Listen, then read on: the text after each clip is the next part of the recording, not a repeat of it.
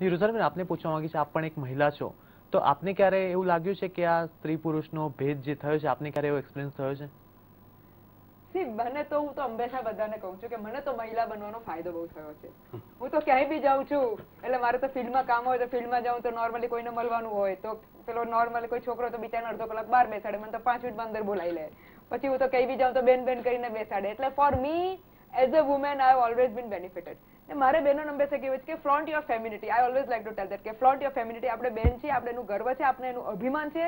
અને આપણે, હું તો, મારો આ ડાયલોગ છે કે આપણે પેલું શું સમાવડા સમાવડા કહેવાય ને, પેલા આપણે સમાવડા નથી. We are not in that સમાવડા race we are a we have our own identity અને male has is own identity biologically આપણે ડિફરન્ટ છીએ, એટલે આપણે સમાવડા બનવાની જરૂરત જ નથી. યા એટલે આઈ મીન બિંગ બેન મને બીજો બી ઘણો એટલો ફાયદો થયો છે કે people in fact માને મારો example law personally if you talk of me તો people fact the society which I move in to may be respect women more અને બીજી વાત કે ઇટ ઇઝ વુમેન જે સાહેબે બહુ સરસ વાત કરી કે બેન બેનની ઘણી વાર દુશ્મન બને છે. એટલે મારે આ પોઈન્ટ પર તો હંમેશા બહેનો માટે બી કેવું હોય છે કે અગર અગર લેટેસ્ટ આ વગર છોકરીની નવજાત શિશુની જ વાત કરીએ તો ઓબ્વિયસલી એમના મધર બી ઇક્વલી જ રિસ્પોન્સિબલ હશે. અગર આ ફાધર હોય અગર આ ચોરી થઈ છે તો આખી અલગ સ્ટોરી થવાની છે એની તો.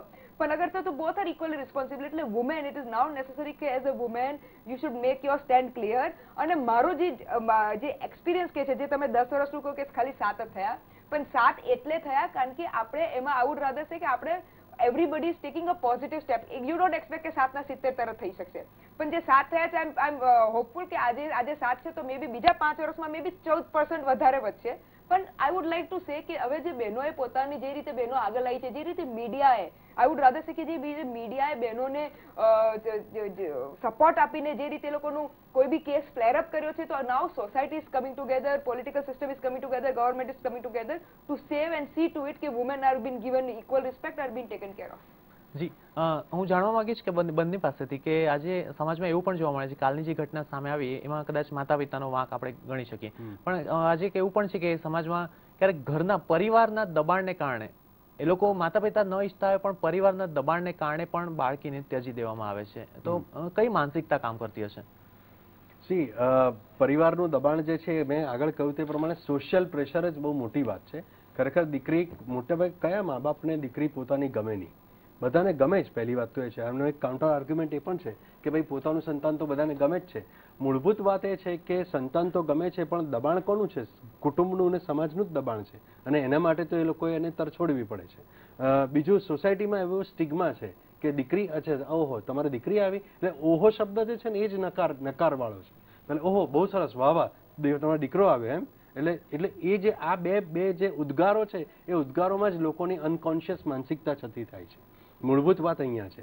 અને બીજું હું અહીંયા એ પણ કહેવા માગું છું કે જ્યારે આ બાળકીને ત્યજવાની વાત આવે છે કે જે કંઈ પણ જે કંઈ પણ એને તરછોડી દેવાની વાત છે કે એના પર લક્ષ્ય નહીં આપવાની વાત છે, ત્યારે એવા સંજોગોમાં મોટા ભાગની જે મધર છે, એ મધરને પેઇન તો થતું જ હોય છે. એટલે એ પેઇનને અહીંયા નકારી શકાય નહીં.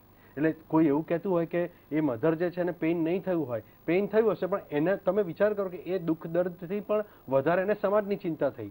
અને પોતે સમાજ મને શું કહે છે તેની ચિંતા થઈ. એટલે લોકોના ભયને કારણે એણે આખી આ ઘટનાને અંજામ આપ્યો હોય. અથવા તો આવી અનેક ઘટનાઓને અંજામ થયો હોય. જી.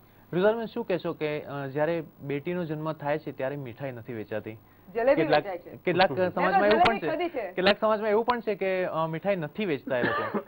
ના ના મેં જલેબી ખાધી છે એટલે આ આ છે. આ બધું આપણે આવું વિચારીએ છીએ ને એટલે જાણે કે હું હવે તમને બીજા ચાર એવા બી એક્ઝામ્પલ આપું આજે કે જ્યારે બેટી જન્મ થાય છે તો જે વિલેજ છે હું જગ્યાનું નામ ભૂલી ગઈ છું પણ એવા ઘણા વિલેજીસ છે જેમાં એ લોકો પાંચ પાંચ હજાર રૂપિયા બેટીના આખું જે વિલેજનું પંચાયત હોય ને એ પાંચ હજાર રૂપિયા જે બી ડોનેશનથી કલેક્ટ કરીને એ બેટીના નામે લોકો બેંકમાં જમા કરે. પાંચ હજાર રૂપિયા આમ વિલેજ માટે બહુ મોટી રકમ બી કહેવાય જે વર્ષો વર્ષોથી એટલે ઇન્ટરેસ્ટ મળતું મળતું વધતી જાય. એટલે હું એવા બી તમને પોઝિટિવ કિસ્સા બતાવવા માંગુ છું. બીજું કે હવે જાણે કે લેટર છે અમારે તો સાહેબે બરોબર કહ્યું જાણે કે મને મારા મારા એક ભાઈ ને અમે બે બહેનો એટલે તરત પૂછે કે ભાઈ તમે કેટલા? તમે કે બે બેન ને એક બે. એટલે કે ભાઈ સૌથી નાનો હશે તો મેં કહું ના સૌથી મોટો. એટલે એનો this is the mentality which I accept but now things are changing અને હું હવે actually frankly speaking may be તમે અગર લેટેસ્ટ થોડું અર્બનમાં તો જેમ કહ્યું કે નાવ વન વન ચાઇલ્ડ ને બીકોઝ એ લોકોને ચાઇલ્ડ ને સારી રીતે મોટો કરો છે. રૂરલમાં થોડું ઘણું અજીબી છે પણ એક એક રીતે આપણા માટે પોઝિટિવ છે. શું? કે જ્યાં સુધી છોકરાની છૈયા પેલું શું છલસા? શું કહો છો તમે? છોકરાની ઘેલસા. છોકરાની જે ઘેલસા છે એના લીધે ફાયદો શું થાય છે? કે એટલી છોકરી તો વધતી જાય છે. If I look at it positively એ આપણા માટે પોઝિટિવ પોઈન્ટ છે. એટલે coming back to your particular question કે આ આ આ આપણે આવું રાધે છે કે વી આર શું કહેવાય?